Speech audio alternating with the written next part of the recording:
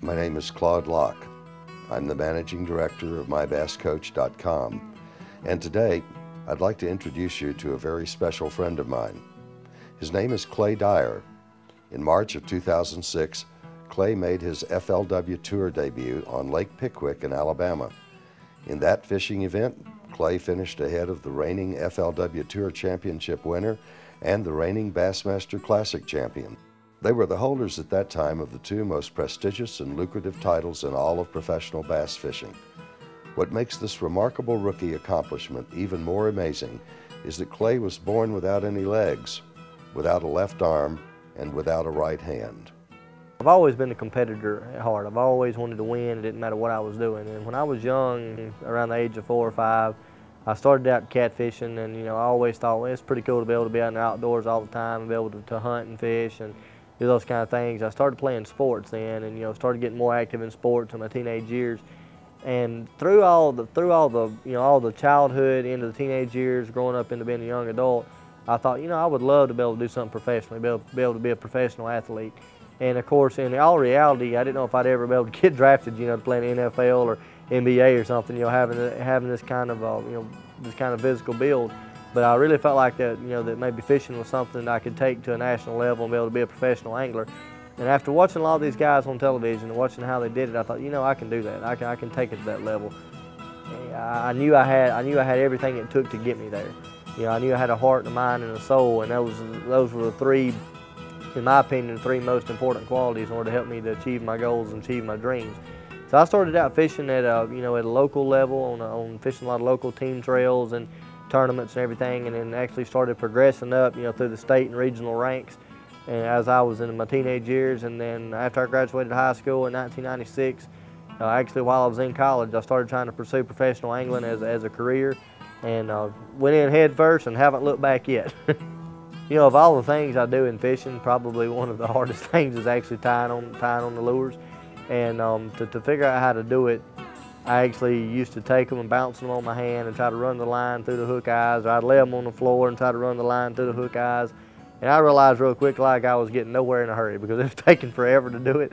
And I thought there, there's got to be a better way to do this. I started trying to bounce the lure on my hand, put the line in my mouth, and you know just doing what felt comfortable. And, and as I kept eliminating, you know, through trial and error and doing what felt comfortable, I was able to figure out, you know, the way of bouncing like I do, taking the line in my lips and you know using my teeth to guide it through the through the hook eyelet and actually taking and, and, looping it you know in an overhand knot and taking the bait and putting it through the loop and then pulling you know pulling it down tight and uh, the way I you know actually finish it up is when I get the actual knot almost completed and I take the hook point and stick it in my hand and take the line and put it in my mouth and or, or take the hook and actually put it in my teeth and take the line, wrap it around my hand, and pull it down tight. And uh, just about every time it gets ugly. We, we draw some blood just about every time we do it.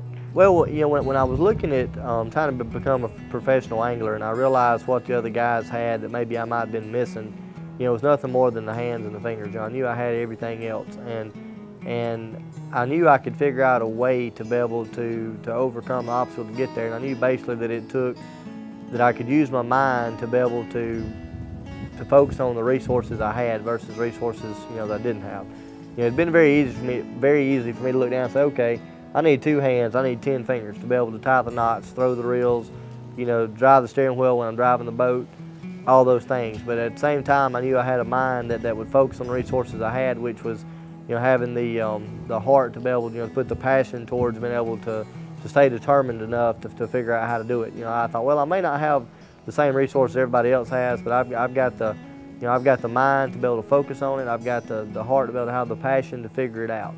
Whenever I go to make the cast, the way I prepare myself to cast is, is I lock the rod handle in between my collarbone and my jawbone in, in a socket like that. And apply the pressure to the reel with my chin to disengage the line button. And then I actually put my, my bottom lip on the line to feather the line to keep it you know from, from going out. I take my arm and brace under the rod and it actually starts into a it looks much like a golf swing, you know, while I pivot my upper body, you know, from side to side or from front to back to be able to get the rod, you know, the, the, the rod momentum started to actually get the lure speed and everything, you know, that I need to get the lure going in, in, in the direction I needed to. And then I usually, I actually use my bottom lip to, uh, to take the pressure off the, the reel spool where the line can accelerate out and I feather the speed of, of the spool by my lip by applying pressure to the line. And so therefore I just tried to keep focused on what I had and to be able to how to how to maximize my potential to be able to get to where you know to, to get to where I wanted to be at. I think a lot of times people wonder how I've gotten to where I'm at in life. And the, the big thing that I've always tried to do is focus on that I had a heart and a mind and a soul to be able to accomplish the things I wanted to do. And with me, to me, of heart, I want to have the dedication, the perseverance to be able to overcome the obstacles that are setting forth in front of me. You know, everything from learning how to do, such as writing, such as throwing football, such as making telephone calls on my cell phone, you know, doing, doing the little things I need to do. All that has had to come from, from, from the passion of wanting to figure out how to, how to overcome those things and be able to put the determination and the perseverance and, and just to keep on keeping on until I figure out a way to, to, you know, to make that work.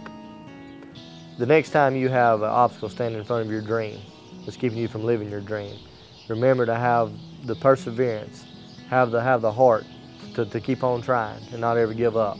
Also remember to focus on the resources you have versus the resources you're missing. And when you can apply those two things to your life, always remember to have the faith in yourself and the faith in God that He's giving you the strength to be able to overcome anything that, that any of these obstacles that may be in your life. Now I promise you, if you'll take and you'll apply these different principles in your life, you'll be able to overcome any kind of obstacle that may be facing you.